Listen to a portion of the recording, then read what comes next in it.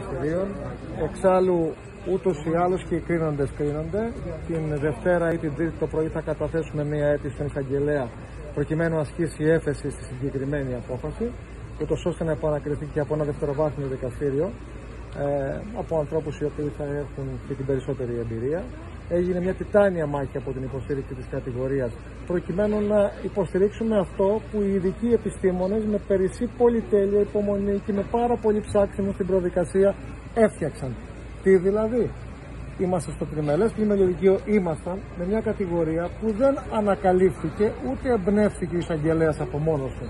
Έγινε μια πολυτελέστατη έρευνα από καθηγητές πανεπιστημίων της Αθήνας και όχι μόνο, οι οποίοι κατέληξαν σε συγκεκριμένες πλημέλειες επί τη βάση των οποίων κατέληξε ένα παιδί. Ένα παιδί γερό και δυνατό που μπήκε στο χειρουργείο και που δυστυχώς το πήραμε μέσα στο κοφίνι, δηλαδή πεθαμένο. Από εκεί και μετά η, αποφα... η... η απόφαση του δικαστηρίου είναι απόλυτα αποδεκτή, διότι έτσι έχουμε μάθει να είμαστε στη ζωή μας, είμαστε επαγγελματίες.